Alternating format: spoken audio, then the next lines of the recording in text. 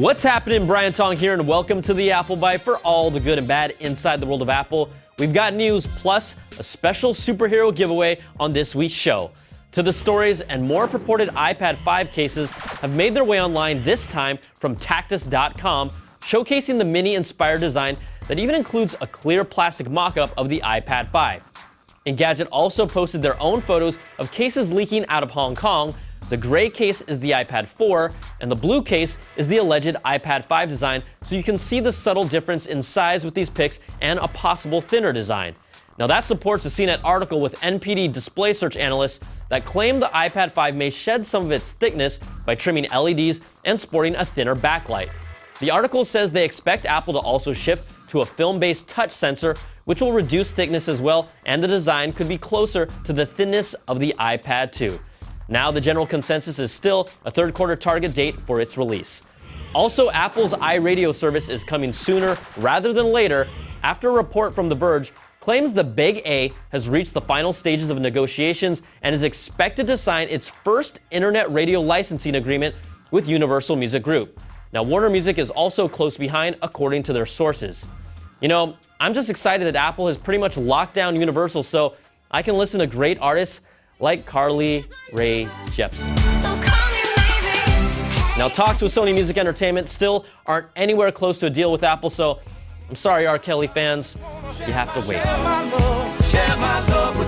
Apple's initial lowball offer was 6 cents per 100 songs streamed, or about half of Pandora's rate, but now the report says Apple Pay rates are nearly neck and neck with Pandora.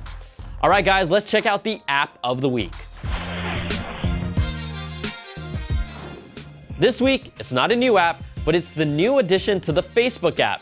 So if you're not tired of the social network yet, you can check out its new messaging feature called Chat Heads that was announced for Android recently. It's now been added to the iOS Facebook app. You can get them by jumping into your messages or chatting with someone, their chat head will appear and you can move them around on your screen. That's my favorite part. I also like throwing an annoying person away. Goodbye. Now they also added stickers in for free for a limited time. Basically, it's a bunch of oversized emoticons and it's coming to Android later. So check out the update to the new Facebook app and the revamped iPad version as well. It's actually worth using now. All right, guys, and some cool patent news. Apple has filed for a patent for flexible edge displays that will be able to have virtual repurposing controls depending on what the user is doing. Translation, think of it as the sides of your phones could have touch sensitive areas that morph into different uses like virtual buttons, switches, or scrolling displays depending on what you're doing on the device. Now, they also showed an example of how virtual buttons could be activated on the edge display for gaming as well. Apple indicates the technology could be used in future iDevices, even MacBooks or wearable computers, like maybe one that could uh, go on your wrist. Now, Apple was also granted the patent for creating and managing iOS folders with the jiggle effect. You know, the effect where it looks like your folders are dancing on jello, kind of like, uh, like this? Yeah. Brian. Uh, what? We'll let you do that anymore. Man, dang it, that's no fun.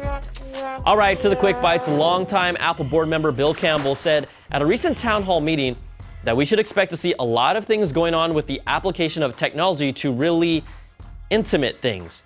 Now, he used Google Glass as one example. The rumored iWatch could also be another thing, but kind of makes me uncomfortable to think about what Jabra might be working on.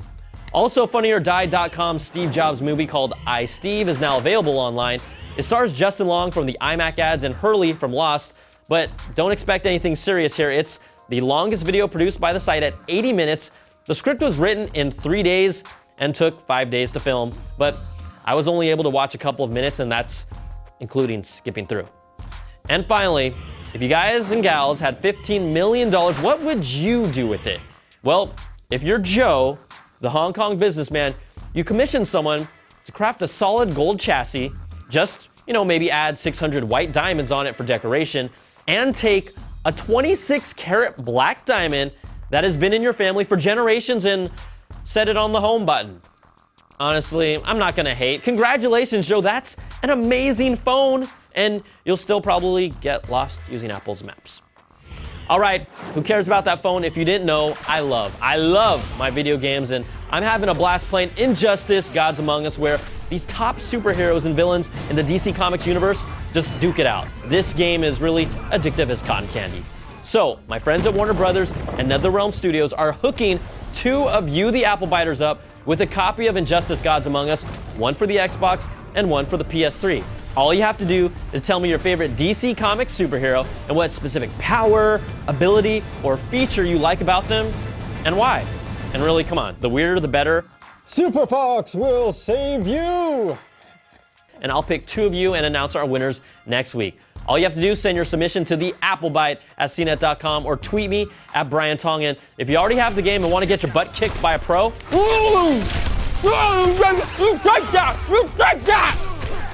I'll be happy to do it for you.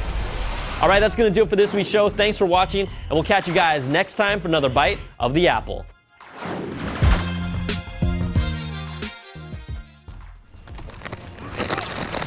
Mm, not today. Not today. The armor won't help. Just shut up and fight. Not today, Joey. Mm-mm, no way. No!